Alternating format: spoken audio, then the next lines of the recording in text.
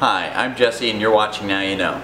Zac's on vacation, so we're gonna have to take a look at the Grove week one by ourselves.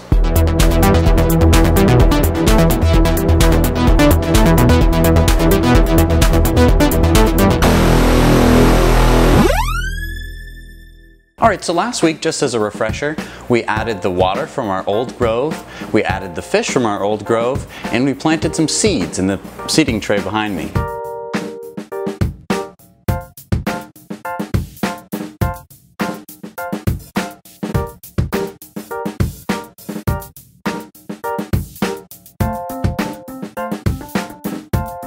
These microgreens took about three days to sprout and now they're ready to eat.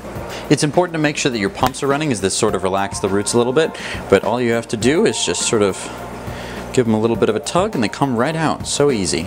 So now it's really simple. All you got to do is sort of just cut off the roots. Um, you can eat the roots, but sometimes they have little bits of gravel in there that might not be that pleasant. And then you can take your microgreens, put them in a damp paper towel and store them for later. Maybe put them in a soup or a salad. Um, or if you're really hungry, you could just... It's a lot of flavor especially for only three days. It's kind of important to pluck them out now when they're at this stage, easy to sort of pull out. If you wait too long, they become macro greens. They're not that appetizing and they're almost impossible to pull out. So just sort of take your time and pluck them out now. Save them because they are yummy. So next on the agenda for today is to test the bacteria and pH levels of our Grove. So the Grove app makes this pretty simple. All we have to do is basically uh, tell it that we want to do a test and it will remind us what the proper procedure is. Um, and then we just have to match the color to whatever our test tube is and that will tell us the concentration of that chemical. So First we're going to test for ammonia, then we're going to test for nitrite, and then nitrate. And what that's going to tell us is how many bacteria are in our grove and how well they're doing at breaking down the fish waste into valuable nutritious nitrates for our plants. Okay, so I'm just filling up our test tubes here with water from our grove. And this is what we're going to be doing the tests on. It's important to make sure that the white line is where the water level goes up to.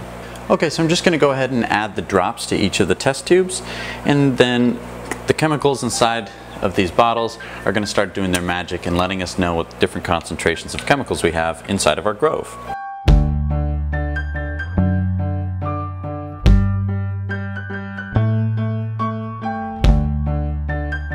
Alright, so we've taken about five minutes for the chemicals in the test tubes to react with the water to change colors.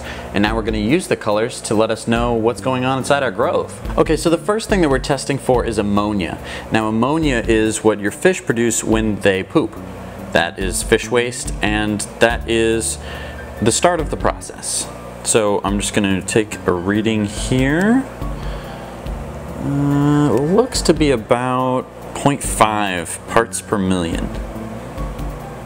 Okay, so now let's go on to the next one. Nitrites are the next step in breaking down ammonia, or fish waste, into nitrates that your plants can eat. All right, so let's take a quick reading here.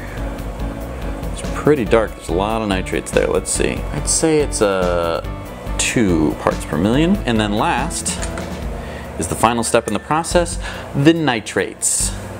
So this is what your plants will actually eat. Nitrates are the food. It's in fertilizer. It's in all sorts of stuff. Um, basically, it's decomposed plant matter, or in this case, fish waste. And so this is what our plants are going to eat. So I'm going to say it's 20 parts per million. So this is great. Um, our grove is very fertile. It has a lot of a lot of stuff that plants love in it right now. Okay, so the last test we do is pH. I'm gonna say this is about 7.0. So that means that this is a perfect range for happy fish. Awesome. So I just want to show you here that you actually get a little graph of um, how your pH is doing. So you can see it went up and then it's, it's coming back down, which is great. And then we can also check that out for the bacteria levels. As you can see, the ammonia sort of had a little spike at the beginning and then the nitrites came up really quickly and the nitrates also came up really quickly and that's pretty much just what we want to see. Although right now we don't have that many plants that are going to be absorbing those nutrients and we want to make sure that they don't build up too much or that could hurt our fish. Okay, so next for on the agenda today is we're gonna plant some seeds in our seedling tray. So I'm just gonna go down the steps here. First step is find the seed plugs and submerge them in the aquarium. So I'm gonna go do that now. All right, so I almost totally forgot where I put the core plugs. Um, they're in this really nice storage area down here. Um, and I completely forgot that they were there. I'm just not used to having such great storage in this, so great job, Grove team. Step one, grab the seed plugs and submerge them in the aquarium. All right, let's do it. All right, so these are the seed plugs. I'm gonna add them into the aquarium right now to let them soak. All right, so we're gonna use four core pots just for starters. I wanna try uh, four seedlings, uh, see how they do. All right, so I'm soaking these core pots. Fish don't seem to mind them too much. Seem a little interested in maybe eating them. Okay, step two is to find the seed packets that we wanna use. I'm gonna use uh, kale and basil. These are the ones that they recommend, so let's give it a shot. Okay, step three is to shake out some of the seeds onto a sheet of paper. Let's start with the basil. So you want to put them on the paper because they're easier to spot. All right, step four, remove a seed plug from the water and insert a seed into the hole on the top of the plug. Return the rest of the seeds to the seed packet. Okay, sounds cool. Let's do it. So I'm gonna go for two basil plants. So let me grab one of these little guys. Grab the core plug and pop it right in the top. And he's in there. Excellent. And now to do the same thing with the kale. Come on. Oh, geez. These guys are moving. One, two. All right, that was the kale. Okay, step five. Um, take the basil and pop it in these holes and push down as far as it'll go to get rid of all the spaces. One and two. Done and done. Okay, so now I've got my seedling trays with my seedlings in them. I'm gonna pop these right back in here in the seedling area. And there's room for a bunch more seedlings. I just wanna sort of start out slow. So we'll see how they do in a little bit. Just realized I didn't have my seedling uh, tray lights on, so now they're gonna be getting enough sunlight. Sunlight. Okay, and last but certainly not least step is to feed our fishies here. So let's give them some food. Uh, so this one's Princess, because she's got the prettiest tail.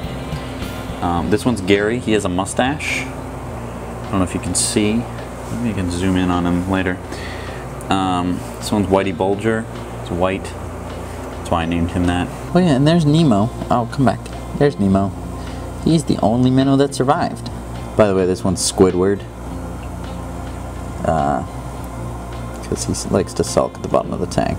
Thank you for watching this episode of Now You Know. If you have any questions about Grove, please leave them in the comments down below.